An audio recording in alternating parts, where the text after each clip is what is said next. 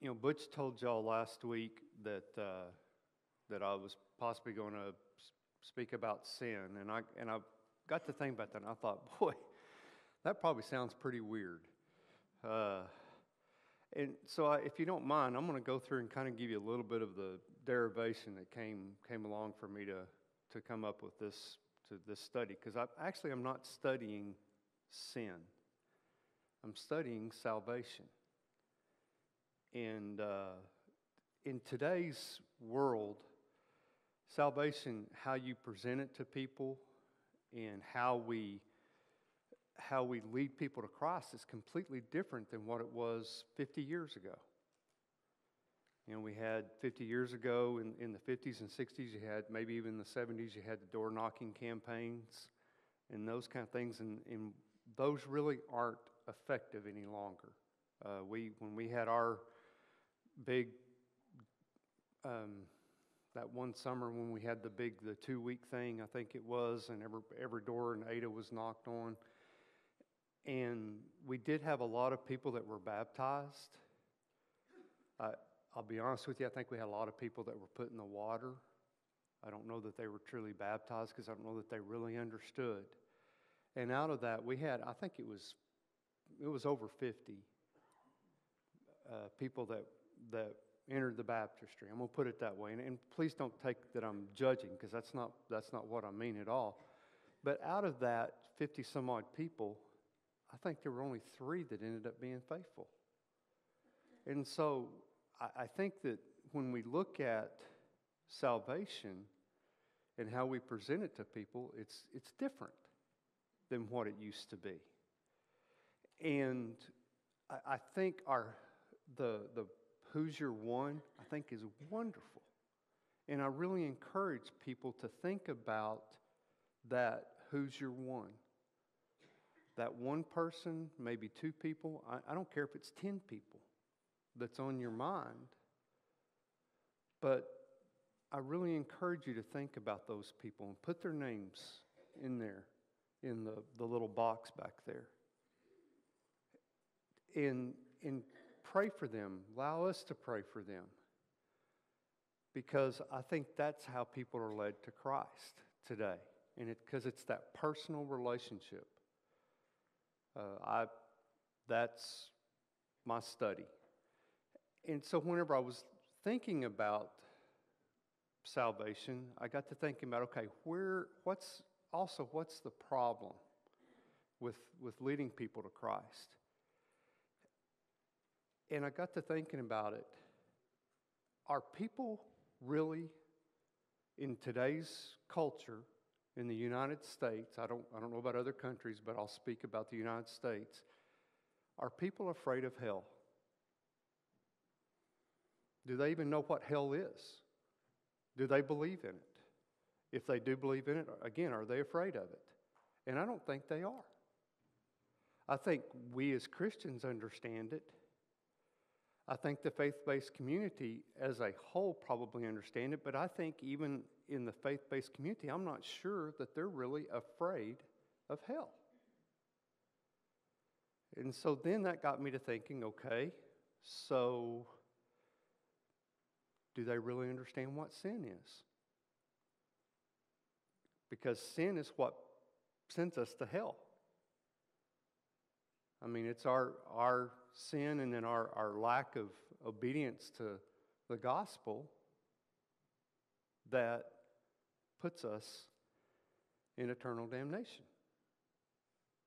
So that's where I come up. I thought, okay, so maybe I need to understand a little bit more about what sin is. And so that's that's my that's how I came about to this part. I'm starting, and, and I've just started a study on salvation starting with sin. Does that make sense? If, if it doesn't, well, that's still how I did it, so I don't know. But anyway. Um, and, and, and also think about it. For us, or well, not just for us, for anybody. Why did Jesus come to this earth? He lived a sinless life. and he died on the cross. He carried my sin, he carried your sin, he carried it all to the cross. Why else would he have been here? Because, other than because of sin. And so I, I just, I, I'm thinking about that and I'm thinking, this is pretty important stuff to, in my mind. So, um,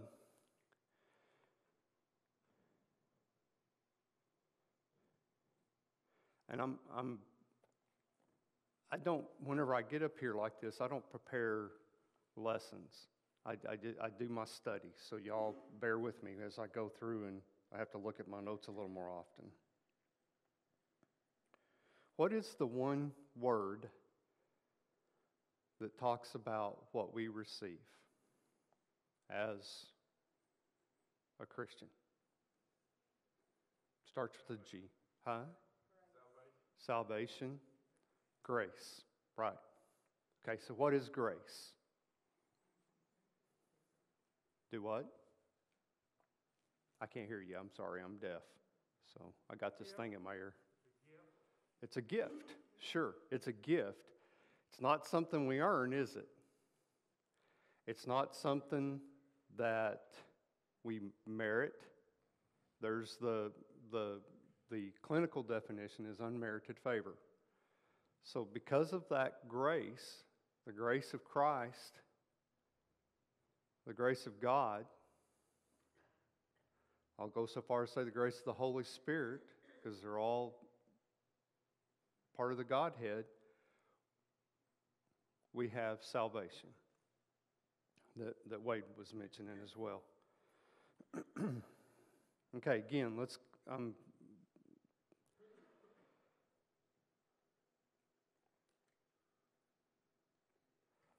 so I want to go to, excuse me, I want to go to why we have grace, and again, goes back to sin.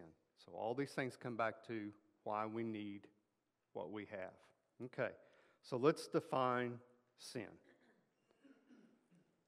There's the clinical definition, which is out of Webster's or whatever dictionary you want to use. Uh, I don't remember which one I got this one from, but an immoral act considered to be a transgression against divine law. Okay? So, what does that mean? So then I thought, well, we go to the, the Greek definition. Okay? There's, uh, and Butch mentioned this, you have the Greek and the Hebrew. You have, the Greek is harmatia. I, I don't know how to speak Greek. Uh, in Hebrew, I sure don't know how to speak Hebrew, but it's ch- chata, C H A T T A H, but they mean the same thing, missing the mark.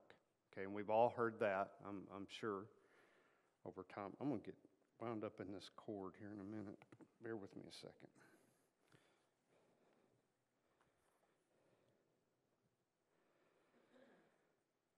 Okay, so we can sit there and we can look at this, and does that really tell you any more than what you knew about sin to begin with? It didn't me. So then I thought, okay, so what do we, where do we go to sin? So my thought was, well, let's just go to the beginning where it all started. And so uh, let's everybody turn over in your in your Bibles to chapter Genesis chapter two.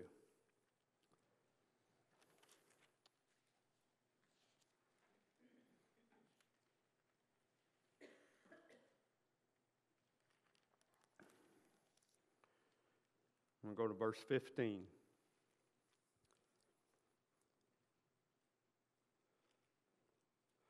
I don't know if y'all know, but whenever you're, when you know you're being streamed, I guess, whatever it is, makes you a little more nervous even than what you were just being up here to begin with. I'm so happy to see everybody's faces. Uh, and, and I'm happy that everybody's joining us that, that still is feeling that they need to be at home.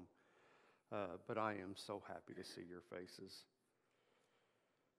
Okay uh, verse 15 The Lord God took the man and put him in the Garden of Eden to work it and keep it. And the Lord God commanded the man, saying, You may surely eat of every tree of the garden, but of the tree of knowledge of good and evil you shall not eat, for in that day that you eat of it, you shall surely die.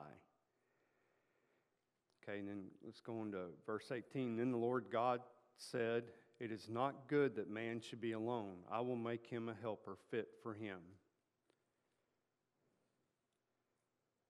Okay, so that's all pretty important there. And then on down to verse 21 So the Lord God caused a deep sleep to fall upon the man, and while he slept, took one of his ribs and closed up its place with flesh. And the rib that the Lord God had taken from the man, he made into a woman and brought her to the man. Excuse me. Okay. So here we have this, this relationship, first of all, between God and man, first, right? Uh, we know that, and we know that they had a direct relationship. Let's go over to verse uh, chapter 3. Uh,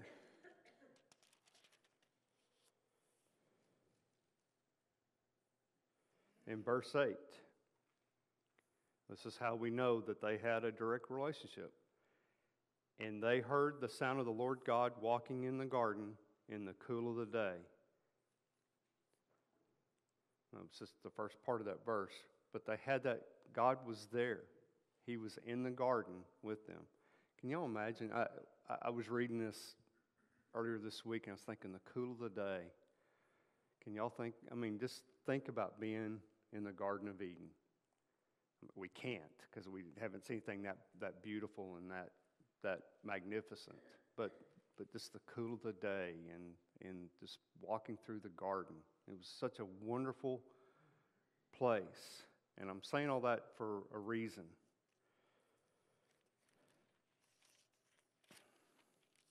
Okay, let's go to, let's, uh, let's look at verse 1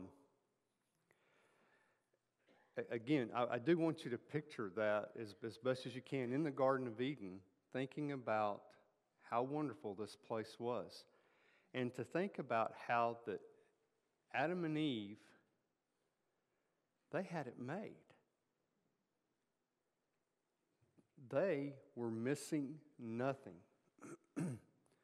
Every need was taken care of, both physically emotionally, spiritually, however you want to say it, all the different ways that their needs could be uh, taken care of, they were met in the Garden of Eden.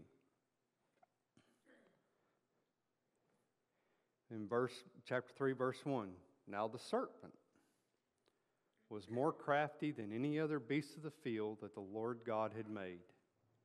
And he said to the woman, did God actually say, You shall not eat of any tree in the garden? And the woman said to the serpent, We may eat of the fruit of the trees in the garden, but God said, You shall not eat of the fruit of the tree that is in the midst of the garden, neither shall you touch it, lest you die. But the serpent said to the woman, You shall not surely die, for God knows that when you eat, eat of it, your eyes will be opened and you will be like God, knowing good and evil. So when the woman saw that the tree was good for food, and that it was delight to the eyes, and that the tree was desired to make one wise, she took of its fruit and ate. And she also gave some to her husband who was with her, and he ate. And then the eyes of both were opened, and they knew that they were, and I, I can't say that word in front of y'all. I'm sorry. They were unclothed. How's that? Um, and they sewed fig leaves together and made themselves loincloths. I, I just I thought about that when I was reading. I thought I cannot say that word in front of everybody. So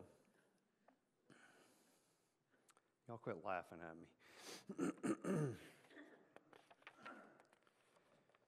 Okay, again, they had that direct relationship with God, but then there was that one tree, that one that one tree. I mean, they had all these other trees, I, I, thousands. You know, I think about Alvin and Hazel, my, my, my mother-in-law, father-in-law, at their house. You know, I, I can't remember. He counted one time how many pecan trees they had, and it was in the hundreds.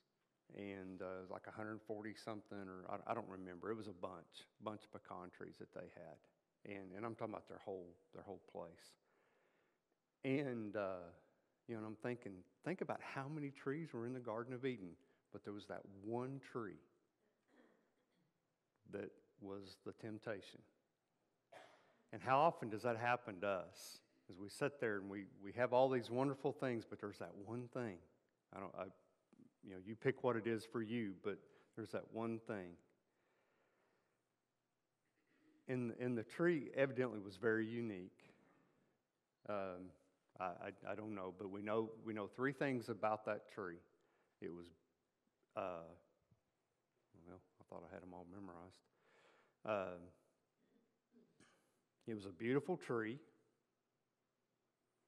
The fruit was good to eat.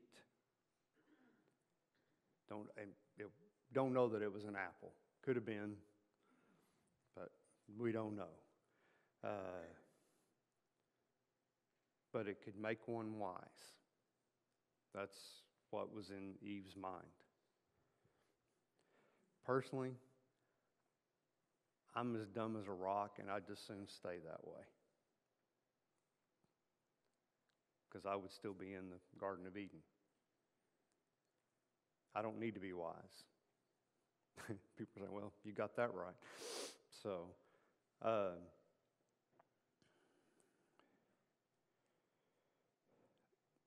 okay, let me ask y'all a question.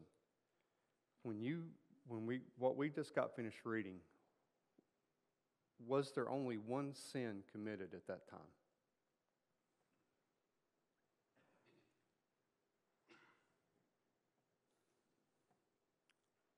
Well, obviously, I think no.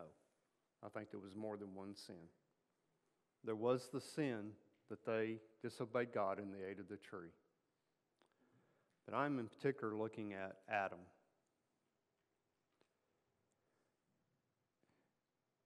Let's go to 1 Timothy uh, chapter 2. I believe it's chapter 2. Yes, chapter 2, verse 13.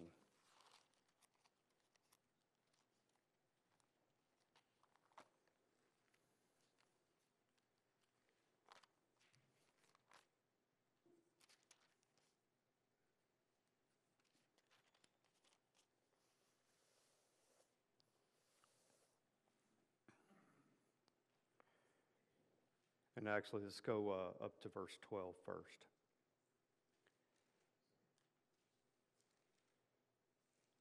It says, I do not permit a woman to teach or to exercise, exercise authority over a man. Rather, she is to remain quiet. For Adam was formed first, then Eve. And Adam was not deceived, but the woman was deceived and became a transgressor. Okay. Eve was tricked by the serpent, by Satan. Okay? Adam walked into it willingly. And I'm going to go so far as to stretch here a little bit in that one of the sins that Adam, or the sin that Adam committed besides eating the fruit, was that he allowed somebody to lead him. I think as sin, for us men, we need to understand that we need to be leaders. And when we're not, guess what? It's a sin. So I, I, say all this to see that sin is not just something that's simple that we can necessarily tangibly see as far as eating a piece of fruit or telling a lie. I, we, can, we could go look up uh, in Galatians and look at the list of sins that are out there.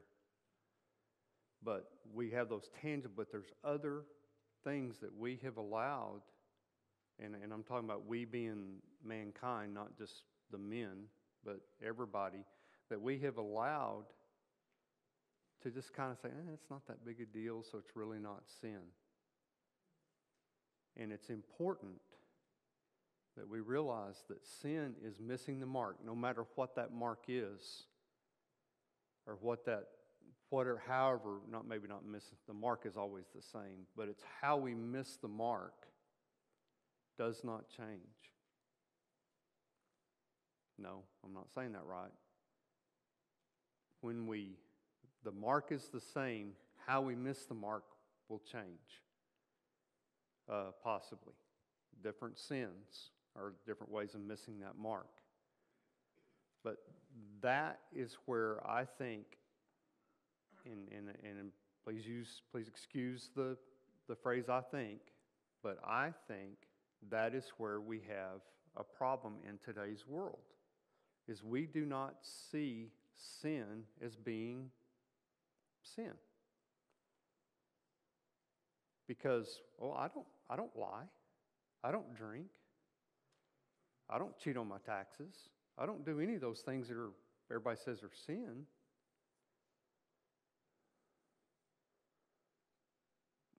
But I do, there's some other things that I do, but that, that's not really sin, is it? And I think that's where we get into problems. I think also we get into problems is we've tried to muddle what, what sin is.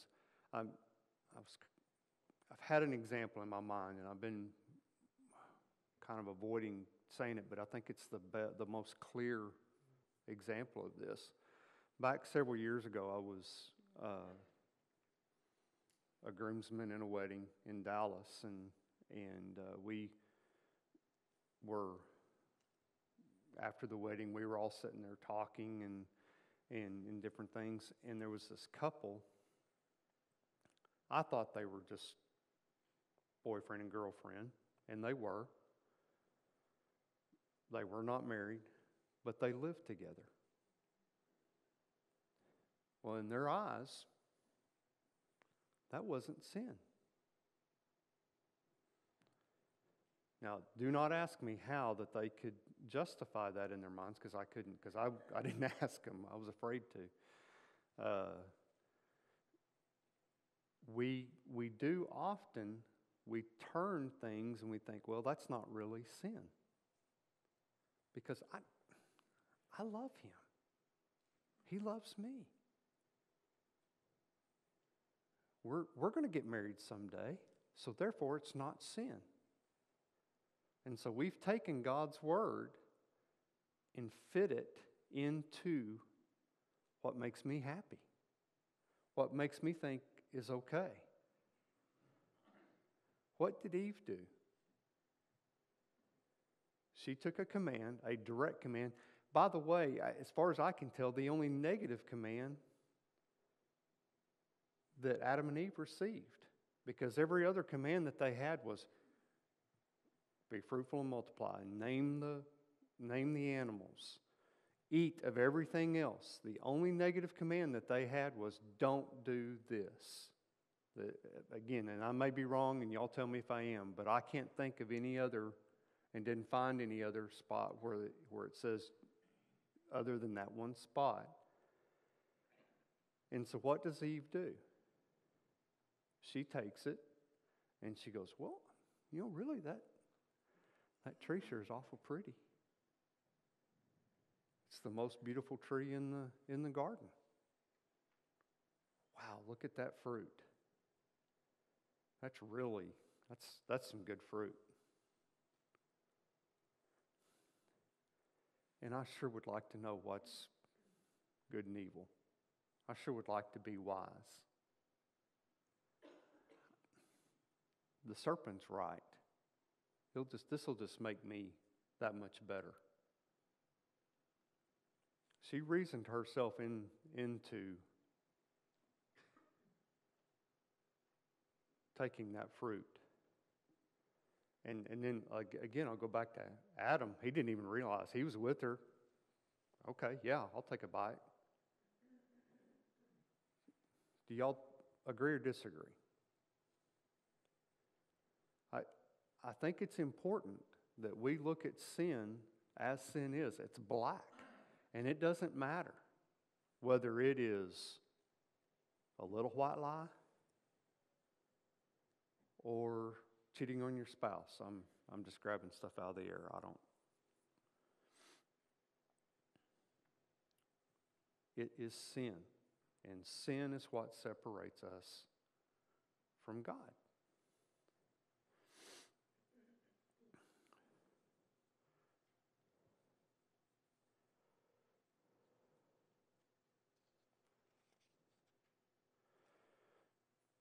Okay, y'all, I'm doing all the talking, and, and it's, it's easy to do that in, in in an auditorium like this. What are some other examples of sin, of people that sinned in, in the Bible?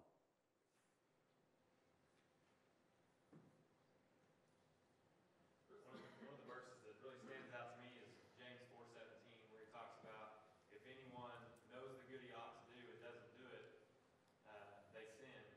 And, and that's the thing that's, that's really a challenge for me is, is understanding, hey, there's good that I should be doing, and God put this before me to do, and if I step around that, then I fall short. Okay. Let's go.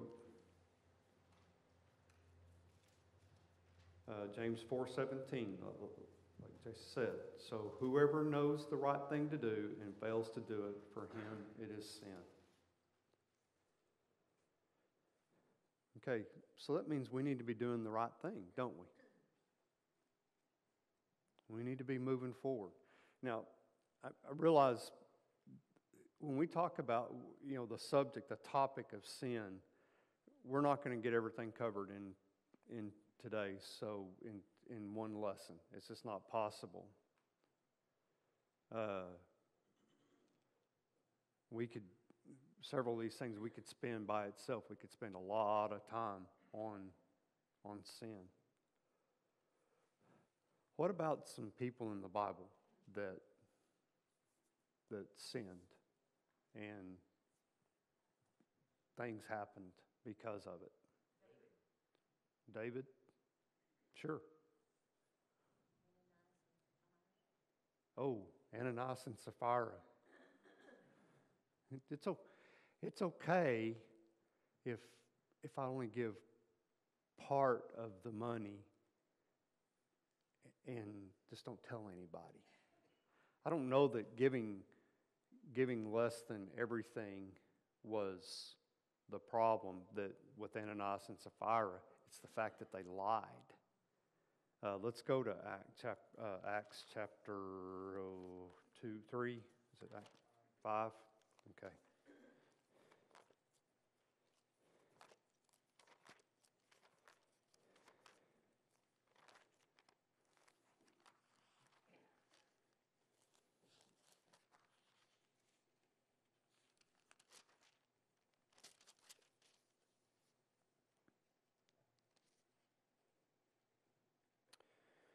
Uh, verse 1 but, an, but a man named Ananias, with his wife Sapphira, sold a piece of property, and with his wife's knowledge, he kept back for himself some of the proceeds and brought only part of it and laid it at the apostles' feet.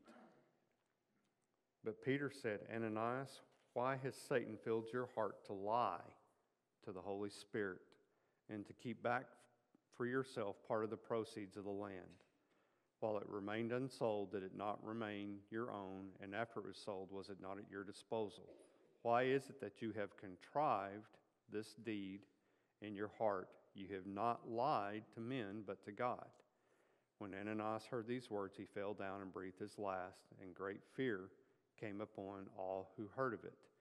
The young men rose and wrapped him up and carried him out and buried him.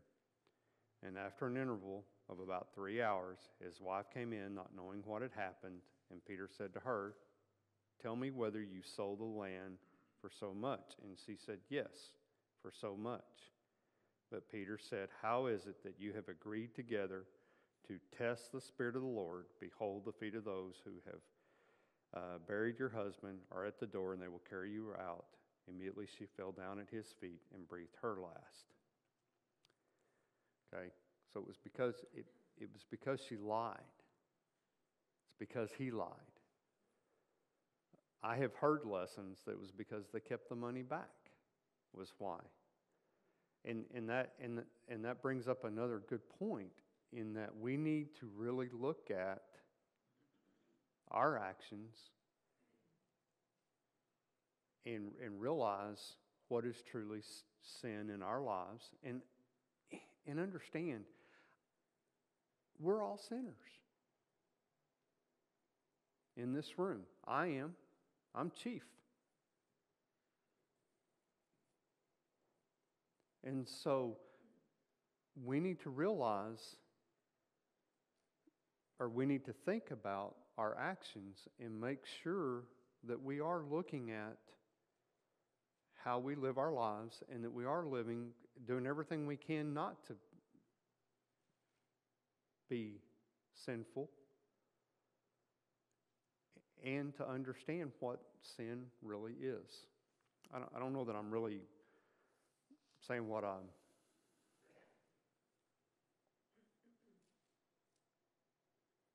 I don't know if I'm getting across very well what I'm trying to say, but I'm, I want to talk about Noah for a minute, or the, the time leading up to Noah. Okay. There, there's two things, two, two different events in the Bible. One being Noah, the other one being Sodom and Gomorrah. Okay. Both situations in with Noah's time, out of the entire world, there were eight people that were saved. All we recognize is that Noah is the one that was called righteous. So I'm not, I've always wondered if his sons were, and I, th- and I think they probably were because they were taught by him. And then there's some other things that we that we'll, maybe we'll look at here in a minute that tells us that they were righteous. But it says in the Bible that right that Noah was a righteous man. Okay. Let's go over to Sodom and Gomorrah. Sodom and Gomorrah, they couldn't even find in the whole town, two towns, I guess, they couldn't even find five righteous people to save that, that area. I, I've heard it said many times that if, if it gets much worse, God's going to have to apologize to Sodom and Gomorrah or apologize to the earth, all the people that lived when Noah uh, built the ark. Well, I, I'm going to disagree with that. I don't think God needs to apologize for anything. Uh, but there's a lot of righteous people. There's righteous people in this room. Okay? But in our world today, we are, we are in that same situation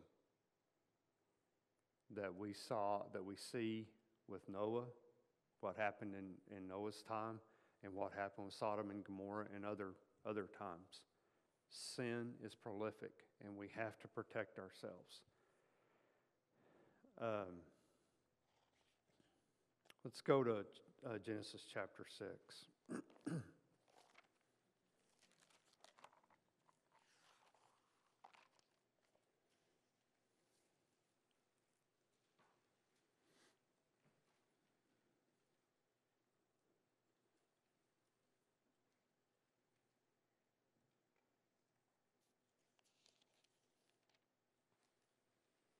go look at, sorry, let's look at verse 5. It says, The Lord saw that the wickedness of man was great in the earth, and that every intention of the thoughts of his heart was only evil continually. And the Lord was sorry that he had made man on earth, and it grieved him to his heart. So the Lord said, I will blot out man who I've created from the face of the land, man and animals, and creeping things, and birds of the heaven, for I'm sorry that I have made them. But Noah found favor in the eyes of the Lord. Okay. Now let's go over to um, let's go over chapter nine verse 20. Okay. We have had the flood. All of this evil has been destroyed, it's gone. Okay? But then we come into Genesis chapter 9, verse 20. There are eight people still.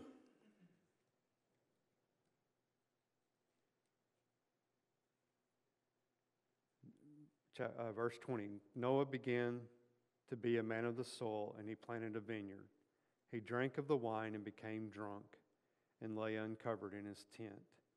And Ham, the father of Canaan, saw the nakedness, excuse me, of his father, and told his brothers outside. Then Shem and Japheth took a garment, laid it up on both their shoulders, and walked backward and covered their father. Uh, their faces were turned backward, and that they did not see their father's. You know, when, when I'm sorry, it really bothers me. I don't know why, but when Noah woke from his wine and knew what his young son, youngest son, had done to him, he said, "Cursed be Canaan." A servant a servant shall be shall he be to his brothers. I mean, sin is already back. It's already back. I mean, done, we've gone through this major event where everything is destroyed. And by the way, if y'all want to look at some interesting stuff, there's some uh, on Apologetics Press. There's a, a deal about it's called uh, Dismantling Evolution uh, you can get on YouTube. Uh, it's uh, talks about the flood and how the flood. This is a completely different side uh, off on a side note, but how the flood created. It was more than just a flood. How it created the world that we see today with the continents and everything else. It's really interesting. Um,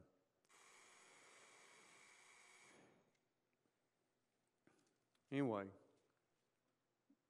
we see this righteous man who lost control and got drunk. And then we see his son who looks upon him. And, and, and I would imagine, I don't, I don't know, but I would imagine whenever, is it Ham? Is that who, was that the one? Yeah, Ham. Whenever he came out, you know, he was disrespectful is what it, what it boils down to. And he was going, eh, Shem and Japheth, you ought to see dad laying in the tent in there. It, it was his disrespectfulness and how he treated his father. I, I don't know that that's what happened, but I do know the disrespectfulness because to look on his father that way was, would, in that time, would have been considered disrespectful. Excuse me. Um, again, a minor thing. But it is still sin. And so, with the bell having rung, the conclusion that I'm trying, that I want to bring is that we need to look into our lives and we need to look at it openly and look at the sin. Now, where this goes with going back to salvation, I don't know yet. I don't know how we can approach someone, in, especially in today's world with the cancel culture that we have now. If you say anything that's negative to someone, you're, uh, it's hate speech. It's it's all these, you know, different things that, that people are getting upset about, and you're telling people how to love.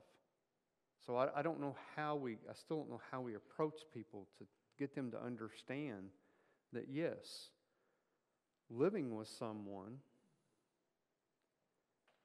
is a sin. Lying to someone is a sin. I don't know how we approach that when people don't want to hear it. I don't that I hadn't figured out yet, and I'm working on it. Uh, I don't count on me getting the answer, but I'm going to try awful hard. Uh, but I'm, I, I just, in, in, when we talk about sin, we've got to realize that sin is real, and we've got to help people to realize that it is a real thing and that hell is what's waiting on us if we don't obey the gospel of Christ. Any comments? I hope, hope this was at least somewhat helpful. I don't know if it was or not, but, but I hope it was. Um, uh, I've got a long way. This is, this is the first part of my study, so it's got, I got a long way to go. Any comments? Okay. I love you guys. Thank you.